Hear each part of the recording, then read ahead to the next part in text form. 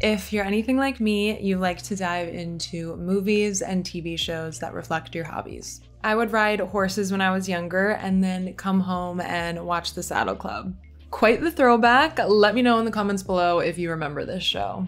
Or this is so not about any of my hobbies, but if anybody remembers House of Anubis on Nickelodeon, me and my cousin were so obsessed with that show, and I need to know if anybody else watched it because it's so underrated. Like, I feel like it's a secret. But, anyways, if you're new here, my name is Julianna Zinchenko. I'm a pattern maker and a video essayist.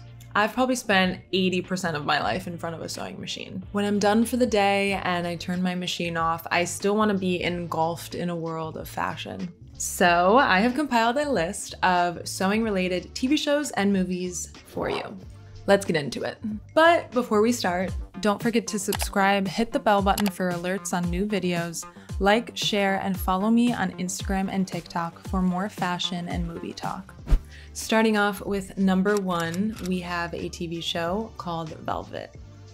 Velvet has a special place in my heart. It is the first sewing show that I fell in love with. It is set in Madrid in the late 50s and made me realize how much I love international television.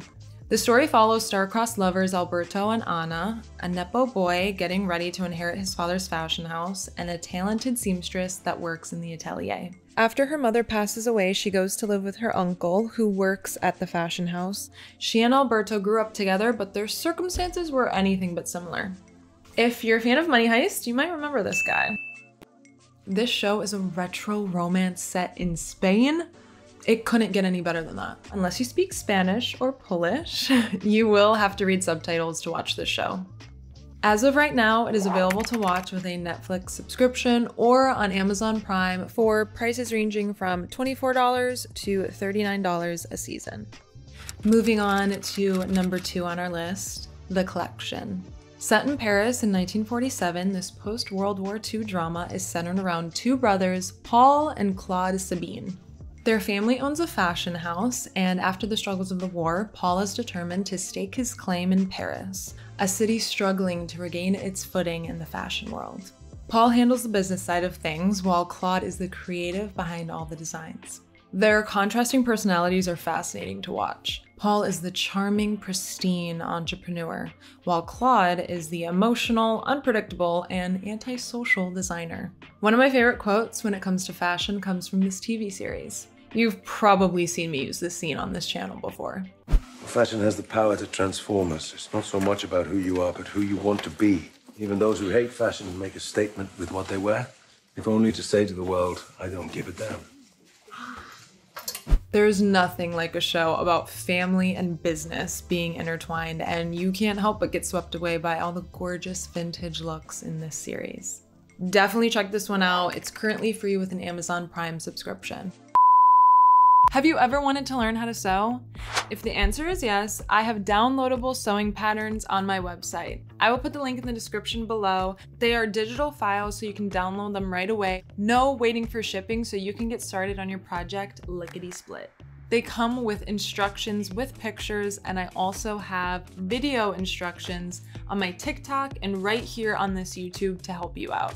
This is your sign to learn how to sew. My favorite part about learning how to sew is I can have any clothing item I want in the world. I can see something on Hailey Bieber that costs $2,000 and just remake it, like Jenny Humphrey. And if you ever need help on a project or get stuck on anything, feel free to DM me on Instagram. Moving on to number three, The Tailor. This series I just got into a couple weeks ago, and I do have to say it is heavier than most sewing shows that I've watched. This Turkish Netflix series is about a famous tailor named Peyami, who is in charge of his best friend's fiance's wedding dress. He has yet to meet his friend's fiance, who's named Esvet. Since it is against family tradition for any man to see the bride in her wedding dress before the big day, his best friend Dimitri suggests he tailors his fiance's wedding dress blindfolded. What Esvet fails to reveal is that she is in an extremely abusive relationship with Dimitri. Peyami's grandfather passes away and it is now his responsibility to take care of his father, Mustafa, who has a childlike intelligence. At this time, Esvet flees her fiance Dimitri and goes to work for Peyami's family as the caretaker of his father. Since Peyami was blindfolded, he doesn't know that he's housing his best friend's fiance. The two start to form a relationship that turns romantic. The Tailor is actually based on a true story. The show is originally in Turkish, but there is English audio. This show is currently available to watch with a Netflix subscription. Moving on to number four, Atelier. I have yet to see this one myself, but it looks very interesting. This Japanese series follows Mayuko Tokita. She takes a job at a high scale lingerie company named Emotion and struggles to find her footing under the lead of her hard headed boss, Miss Mayumi Nanjo. This series is inspired by The Devil Wears Prada, and Mayumi Nanjo is modeled after Anna Wintour, who is the editor in chief of American Vogue. This is a story of the generational gap between the employer and the employee. Although Mayuko's beliefs differ from her boss's old fashioned philosophies, she ultimately respects her. American motion pictures often show a character's disdain towards their hard headed boss. That's what I love most about diving into international television is the exposure to cultural values that differ from my own. It's like you're traveling but in the comfort of your own home. There is something so powerful about strong women leading the younger generation of girls behind them.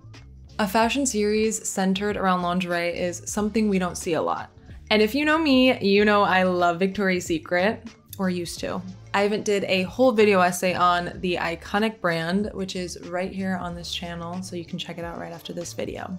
Everything that makes up lingerie is so feminine and girly, so I am looking forward to getting into this show. This show is in Japanese, but English subtitles are available. This series is currently available with a Netflix subscription. And the last, but definitely not least, number five, Coco before Chanel. This movie follows the incredible story of the mind behind one of the biggest luxury brands, Miss Gabrielle Chanel, better known as Coco. I watched this movie for the first time in my high school French class and was obsessed. I love anything that is a period piece, and the story of Miss Chanel is utterly inspiring. The movie highlights Gabrielle's humble beginnings, having been born into poverty. She then went on to become one of the biggest trailblazers in fashion history, she mixed masculine with feminine style and revolutionized women's sportswear. I love nothing more than a rags to riches story. No one wants to sit around hearing about daddy's money and daddy's connections. This is a French film, but English subtitles are available. This movie is available to watch for $3.99 on Amazon Prime. And that wraps up my list of just a few sewing related motion pictures. Let me know down below which one you plan on watching first or if you've seen any of these already. Thank you for watching. I hope you enjoyed it.